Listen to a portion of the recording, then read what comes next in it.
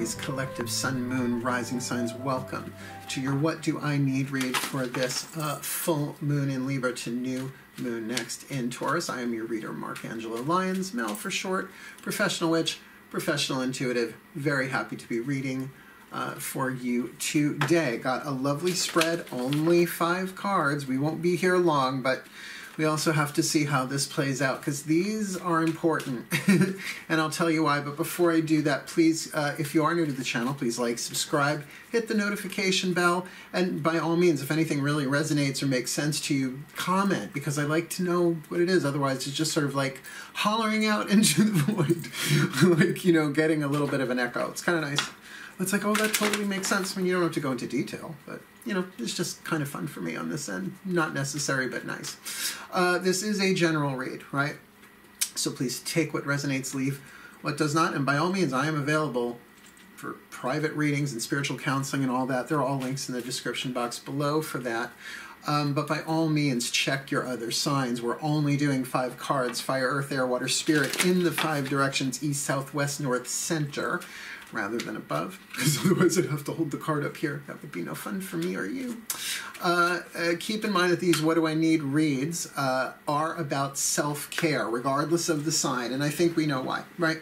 I'm trying to really avoid talking about it at all. I actually got temporarily flagged for the live stream I did earlier today, and really I had them review they reviewed it and it was fine but so just to not have to go through that initial Virgo shock you're like what do I do right uh, I'm gonna just avoid it, but you know what? I'm, you know what I'm talking about. Why we all might be a little solitary right now, and just a little bit, just a itty teeny, teeny tiny bit. Um, so we're gonna try and have fun with this, keeping in mind it is waning moon. But here's the astrology of it.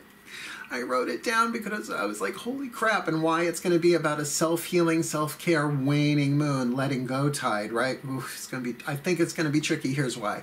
Starts off full moon in Libra, April 7th. Lovely. 10:15 p.m. Actually going to be doing something in my Facebook group at around 9 p.m. I think uh, that night Eastern Standard Time. The Mark Angelo Lyons Mal for short private Facebook group. Have you heard of it? We're a lot of fun. We are a fun, fun group. Uh, growing every day too, which is kind of cool. Then uh, here I'll come here that night, and uh, I'll do. Uh, uh, 11 my 11 p.m we'll do a card draw for the the full moon in libra and that's lovely balance and all that jazz However, the new moon in Taurus is wonderful, lovely. Plant seeds, right? Can't beat it. We can really go for some stability, some healing, some lovely life values, second house stuff. Brilliant, brilliant, brilliant, brilliant, brilliant. Except that we have to go through dark moon in Aries to get there. Dark moon is the three days before new moon. It is the darkest part of the cycle. And in Aries, not exactly the most patient, peace loving sign of the 12 uh, tempers could run high. There, I'm not going to say absolutely means there's going to be violence. I don't go there. We do the best that we can to feel the tides as witches of what's coming, but it's hard not to relate it to the past as well. So, self healing, particularly because of that dark moon. Uh, in Aries. you with me? Good. Other than that, just breathe. Let's have fun with this. I know it's a little bit of long, long of a preamble, but it's only five cards, and I'd rather, when I get that feeling like, oh, with what's going on in the planet, let's just get ourselves as in alignment as possible. So let's have fun with this. This is sort of an old spread with a twist. Usually I use the element spread, fire, earth, air, water, spirit, the shape of a star. This time they guided me to do it the four directions with a scent spirit in the center. So let's have a look-see duck-see. One card each, five different cards. Here we go. Breathe. Coming into the present moment as we do. Uh, we're going to start with the Healing with the Angels Oracle by Doreen Virtue. All the decks that I read are in the description box below. Let's find out where the angels say you can look for some healing in the element of air, the direction of the east, the rising sun, new beginnings, even though we're going into waning moon. Breathe. My angels, please, one card in clarity. For the Aries collective sun, moon, rising sign, this new moon in Libra to new moon next in Taurus. They do that to show me the energetic thread Uh, please, uh, one card in clarity for the Aries Collective Sun, Moon, Rising, Venus sign this new moon to full moon next Aries 2020. What do they need in the element of air, my angels, to think about, to focus on, to contemplate? Your intention, you big fire sign, not just the what, the why. that the element of fire indicated. I mean, you can obviously people think about their intentions, but intentions are really not so much third eye, their throat chakra. It's about what do I choose? What do I want?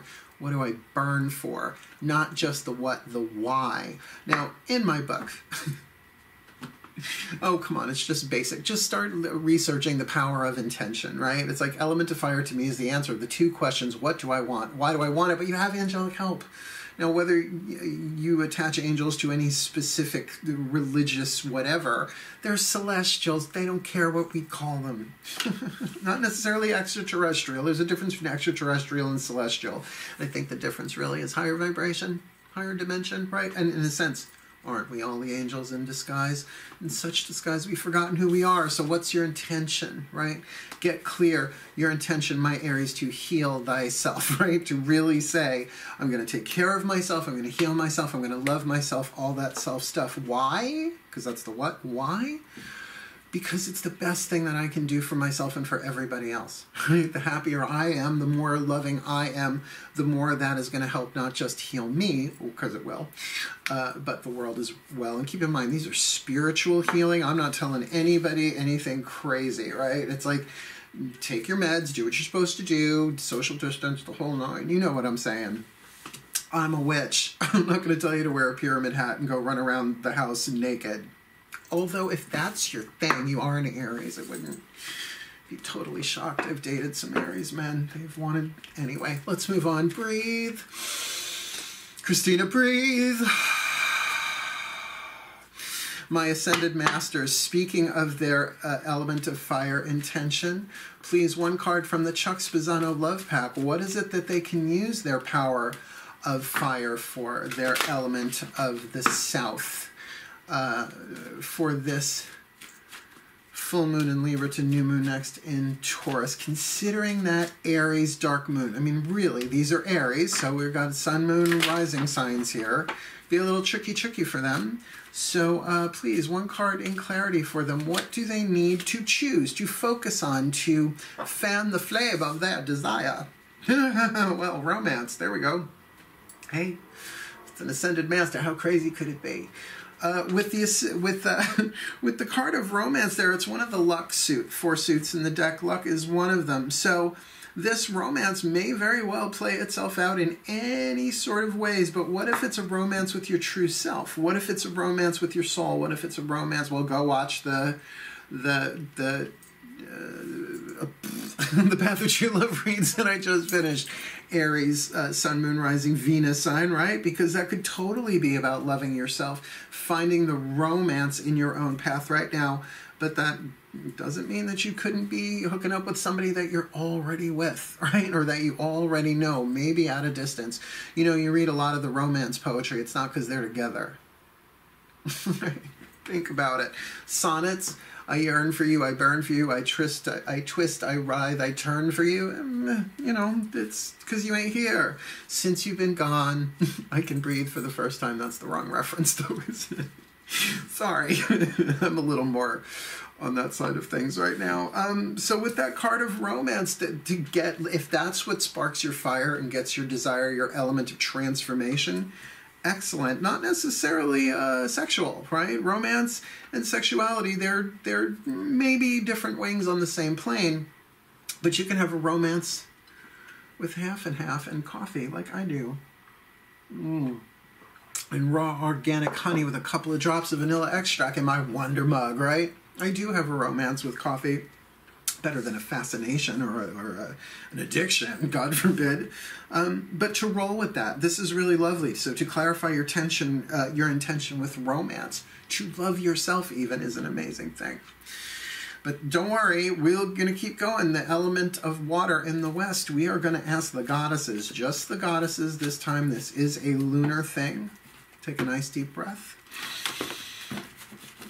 So, for the healing of the mind, we have the intention, right? The healing of the fire, the desire, the choices, we've got romance. The healing of the water, the emotion in the West, we're going to ask the goddesses, my goddesses, please, one card in clarity for this Aries collective sun, moon, rising, Venus sign. Uh, nope, sun, moon, rising sign. I always do that when it's the first sign, when I just did one with Venus. Please, my goddesses, one card in clarity. oh, no, there are two. Uh, for the Aries collective sun, moon, rising signs. For this full moon in Libra to new moon next in Taurus, considering the element of water here, some emotional healing, what is it that they can focus on this? Okay, this uh, full moon to new moon next April 2020, we're looking at the Aquarian card, which is very much to me about that 11th house fixed air, seeing things stratospherically, taking the larger point of view, more friendly, more humanitarian. Really, the world peace sign is, is kind of really seriously Aquarius. But keep in mind, Ixchel, the eagle woman, hence egalitarian, look up that word, egalitarian, uh, she's carrying scissors there in order to snip away that which no longer serves, which is sort of perfect for waning moon, just saying. Considering that it's going to be dark moon in Aries, that your emotions, it might be a good idea to see things from a larger point of view, more philosophical, perhaps more spiritual, perhaps uh, mystical, but maybe even just psychological, right? To really look through the lens of psychology, self examination, self inquiry uh, to use that element of air. Because with this card of romance here, it's all connected. It's, it, I mean, look, maybe this is again over a two week period. These could be different aspects of the dimensions within yourself that create holistic health. Holistic health is about the spiritual, the mental, the emotional, the physical at least, right? There are people who add many, many more etheric and causal and stuff to that, but just pure foundation, fire, earth, air, water, spirit. This feels like a decent homeostasis. So if you're going through some romantic issues in terms of your fire, thinking about your intention, what do I want to do? Why do I want to do it? Uh, about a, uh, something in your romantic field, your desire field, uh, then to really take a, a good, larger picture look uh, at your emotions, perhaps in terms of emotional patterning. Yeah. let's move on. Uh, let's ask your higher self. And I like when they suggested, the guide suggested uh, the Whispers of Love Oracle for Earth. I was like, really? The voices of the higher self? They're like, well, who else has a vested interest in what happens physically? I was like, oh, yeah, that makes sense, right? The angels, eh. The masters, eh. Maybe more. The gods, yeah. But your higher self, absolutely, right? So let's ask, shall we? Nice deep breath. Ooh. Okay, the higher self collective, please. One card in clarity for the Aries collective, Sun, Moon. I get it. Rising sign for this full moon in Libra to new moon in Taurus. Please, what is your whisper of love for them in terms of their own physical healing, in terms of their the spiritual aspect of what they should do, what actions they could, let's not say should, let's say could take, because we all have free will about what we could do or not do. Should usually means wrong anyway. You should. I could. So please, higher selves of all involved for the Aries collective Sun Moon Rising. What's uh, what's the whisper of love for them this full moon to new moon next? Slow down. Slow down. When you are excited, Aries, uh, you get ahead of yourself. Take some time to allow things to unfold. Slow down. I don't think that needs any further explanation to you. I think that pretty much covers that right there. I mean, I knew these were going to be short readings, but I didn't think one would go that fast. I mean, that's really obvious for where we are. So, of course, you know, I'm giving you a Matt Kahn healing mantra card at the end, right? It's a healing reading. It's all about self healing. So, I mean, but that, by the way, just saying if you're really inflamed, Aries, during, well, really any day of the week for any sign that anyone is, slow down, relax, try and breathe. Everything that we already know what to do. Doesn't mean to stop feeling what you're feeling or stop dealing with what you're dealing, but um, to, to relax because we're more in alignment. We can hear our own not just our intuition, our own better instincts when we're relaxed. When we're all up here, we, we're not paying attention to what the body is saying, right? It's a huge part of intention too. You'll know when the intention's right by how it feels in one or any combination of the lower three chakras. I'm teaching again, aren't I? Good. So my ascended masters were ready. They're like, we've been ready. we're eternal. Okay. Please, one card in clarity for the Aries collective sun, moon, rising, sign. This new moon in Libra to uh, new, this full moon in Libra to new moon next in Taurus, considering that dark moon in Aries, what is the perfect, perfect healing mantra for them? If you're new to this, one side of the card has the mantra, the other the name of the mantra. I use the name of the mantra to look it up in the book because there's nothing else written on the card. Exploring unity consciousness. Oh, I love it. This is really good. I am one eternal light appearing as all. All right, let me read you this one. This is really good. Now, this this is going to really help. Um, when unity consciousness is explored, you are able to sense a connection that unites all hearts. No matter how unique each person seems to be, in unity, there is a willingness to accept the differences that make each other uh, that make each of us unique, while embracing the greater cosmic web of interconnectivity throughout all time and space. In exploring unity consciousness, we are not a person in search of the light. You are the light dressed up as a person along your soul's journey. This mantra is ideal for amplifying presence, grounding your energy, and deepening meditation. Yeah, so the more in tune you are, right? So uh, we'll pop up a picture of this and, and uh, we'll, we'll have a look at that. Um, but the more you are tuned in to unity consciousness, which is our actually our higher selves state, by the way, and so it's kind of telling you slow down. Uh, let's just pop up the picture and have a look see dooksy, shall we? Just easier that way. Here we go. Magic clap. Because we start in the east with the angel of intention, your element of air, to think about your intention, your what and your why, not just what you want, why you want it.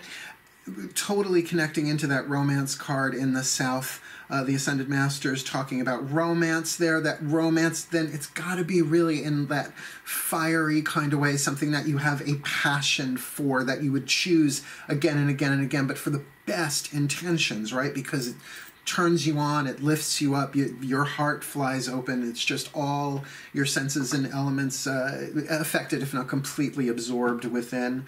Uh, and emotionally, there, yes, with the Aquarian card there to step back, look at the larger picture.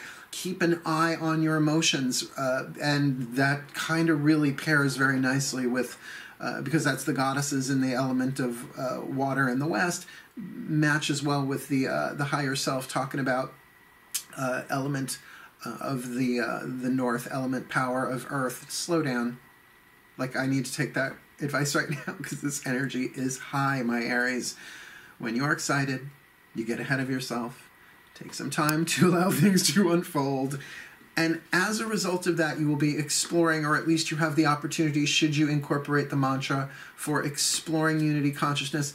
I am one eternal light appearing as all. And the truth is, is that's the truth. That's the quantum truth of it. That's the spiritual truth. That's the mystical truth. That's the natural truth. Even if we're just all made up of quarks and particles, it's all the same essential quarks and particles on an energetic level. So we really are one eternal light appearing as all. Even if that light is a symbolic term here, uh, then by all means, that is going to slow you down. That is going to lift you up. That is going to help you heal. Uh, but it's also going to help you prepare for what's coming in new moon in Taurus, considering the dark moon in Aries. Not bad for five cards there you have it. May the Aries collective sun, moon, rising signs be blessed with all that they need for this full moon to new moon. Next, that they may heal, that they may grow, that they may explore unity consciousness with romance, intention, and a higher egalitarian perspective as they slow down for the well being of all. So moted it be. And so it is. Maybe I've had one cup, too many cups of coffee possible. But I'm very excited for these readings. So please, thank you so much for watching, right? Please do like, subscribe, all that jazz. Wishing you the very best and the very blessed of this uh, full moon to new moon next, my Aries friends. But for now, say it with me and say it twice to be doubly blessed. Hail, farewell, and blessed, blessed be.